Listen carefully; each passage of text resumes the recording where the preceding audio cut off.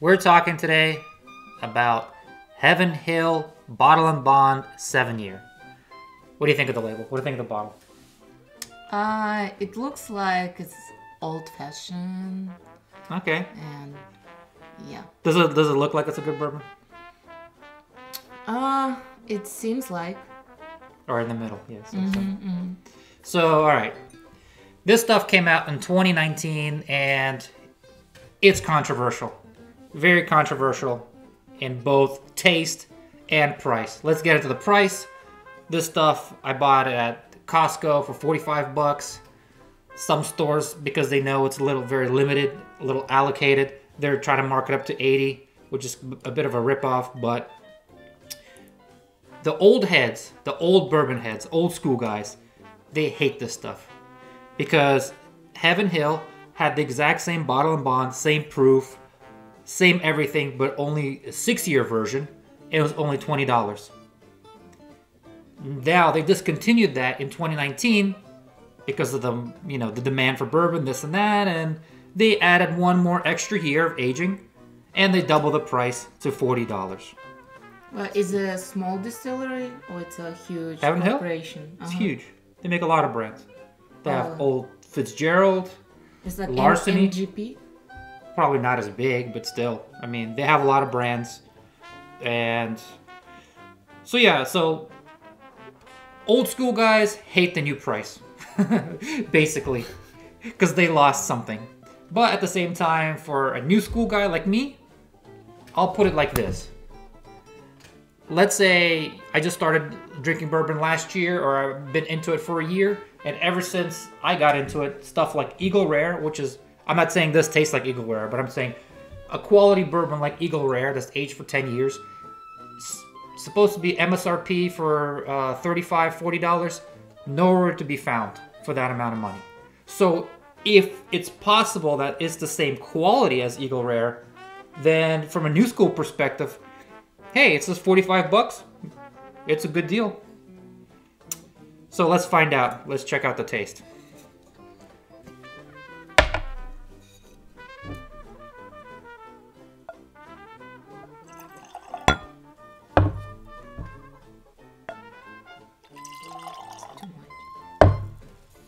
Oh, it's a healthy pour.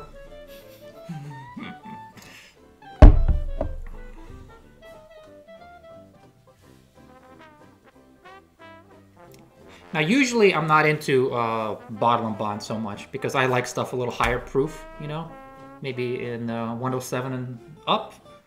But It smells good, yeah, like vanilla, okay. like some candy.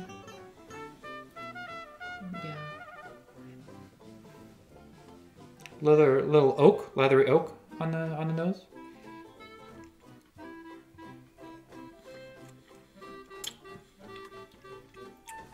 Mm, it's sweet. Not over the sweet. Oh. Say like a little tobacco, a little but like butterscotch finish at the end. Um, starts with a little. Uh, wh- wh- what's the note that first it starts with?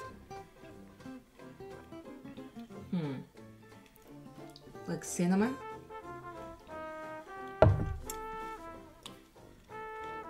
I can see that. A little bit of red hot. Mm-hmm. And, and yeah, yeah, I like it. The finish. The finish is very sweet. Yep. Very sweet. What about this? Like, what about the middle, the mid palate? Meat palate. Let me drink like a little bit of water here, clear, cleanse the palate.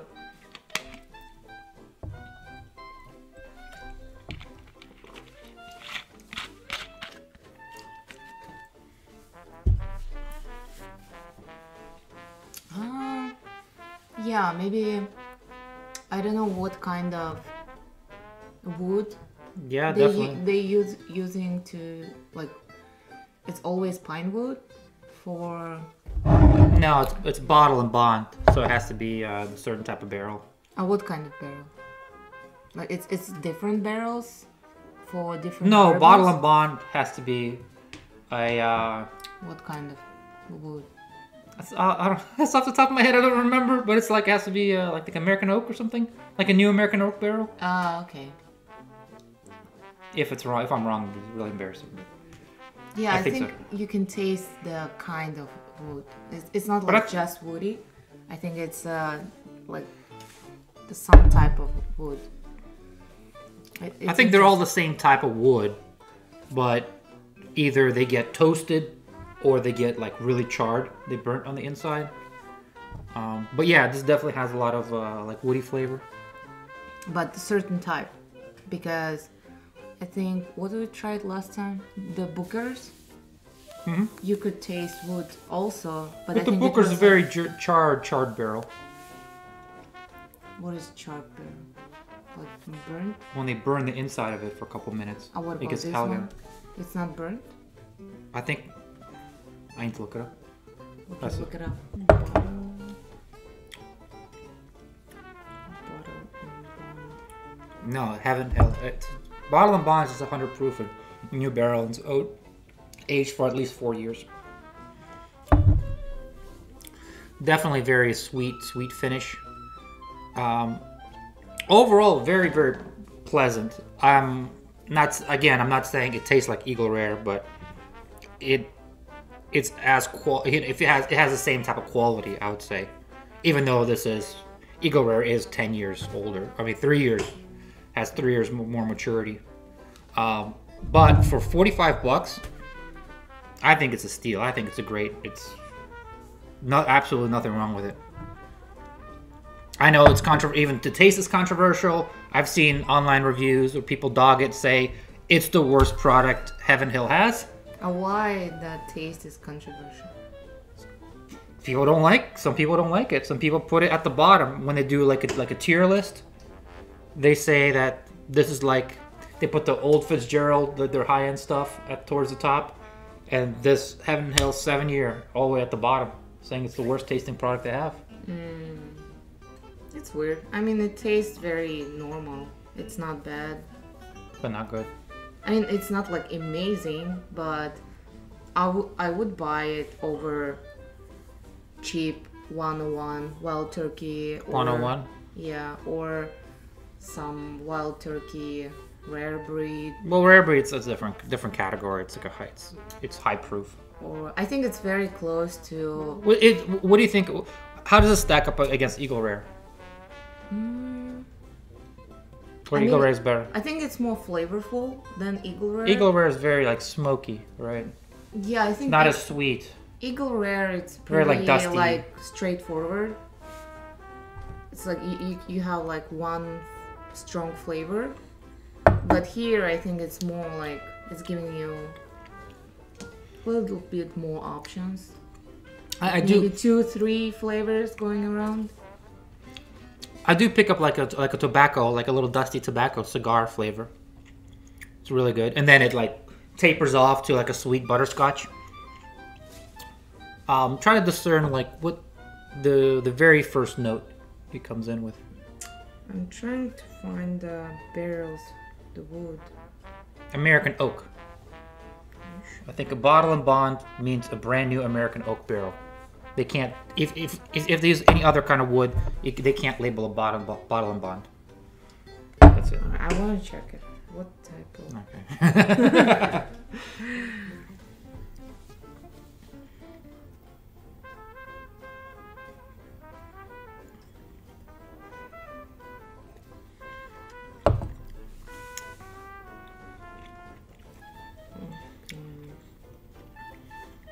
Okay, it's oak.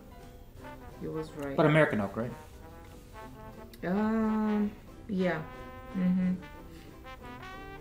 Okay.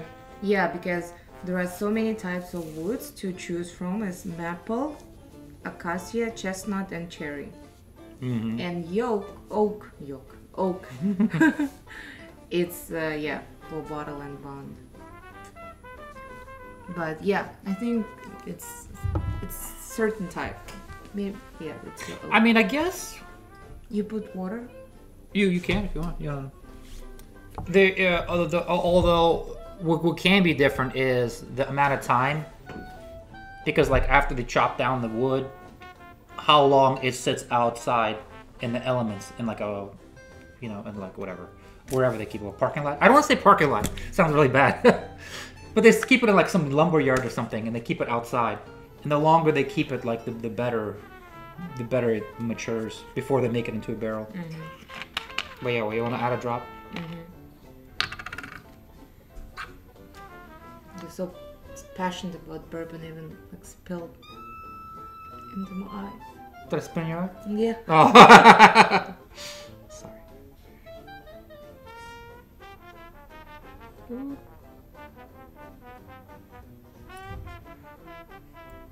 Okay.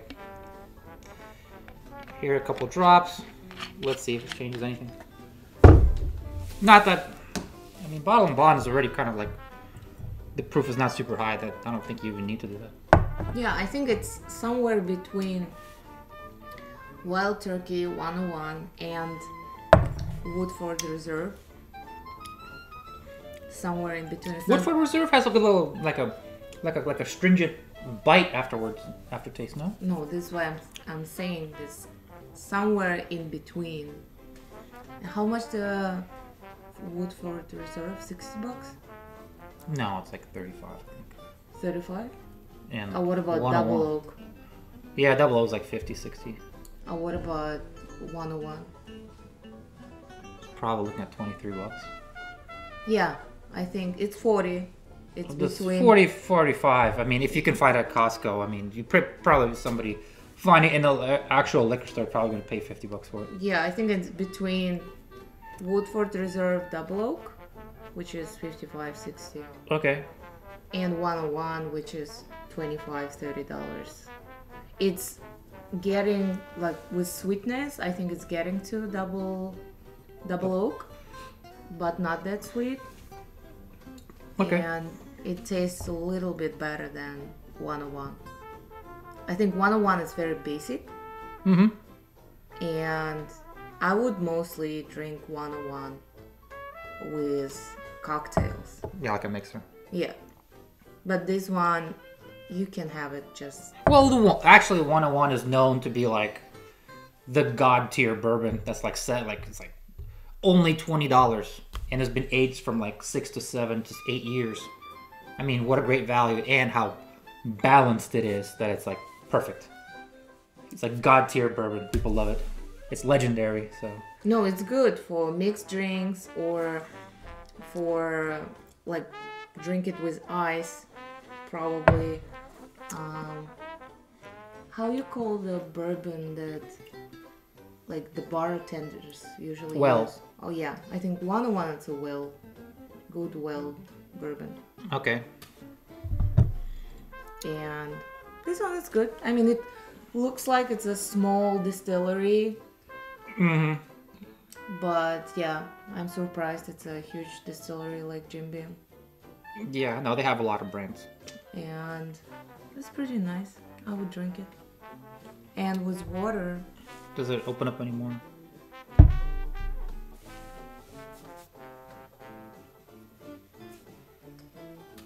Yeah, I think with water it becomes more. You can feel more tobacco.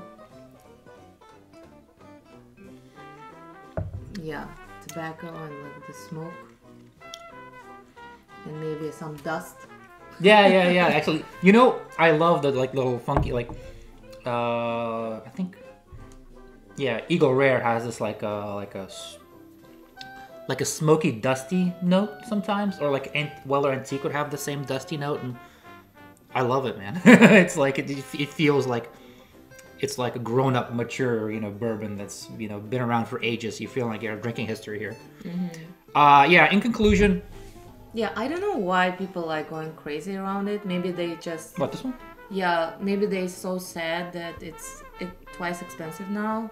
I mean, you said because a lot of people saying it's a shit bourbon or like like in the ten of the worst bourbons. N- No, no, no. I, I saw reviews. I saw some famous YouTubers that would review this, like put this at the bottom of all the products Heaven and Hill makes, like Old Fitzgerald, um, Elijah Craig, Uh, larceny, they just put it at the very bottom. That's like as far as taste. I would also, I actually would put it like before larceny. Yeah. Maybe after. Which one? The the, the high proof one?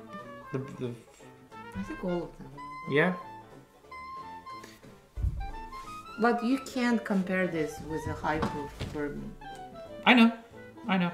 Yeah. Yeah, I think it's better than larceny. Well, I like it. Okay. I tried it because it, I, I've never. I mean, now I've been seeing uh, this bottle everywhere, but as in like like a few months ago, it was never nowhere to be seen. Uh, I saw it at some dive bar. I gave it a try. I might have been a little buzzed. Maybe my uh, taste buds were a little, you know, fried, tiny bit. But when I when I uh, uh, ordered a neat pour, it was good. I, I was really impressed. I was like, wow, I gotta get a bottle. I gotta get this. And you got it. Yep, I got it. I you got want it? You, got, it. it. All right, cheers.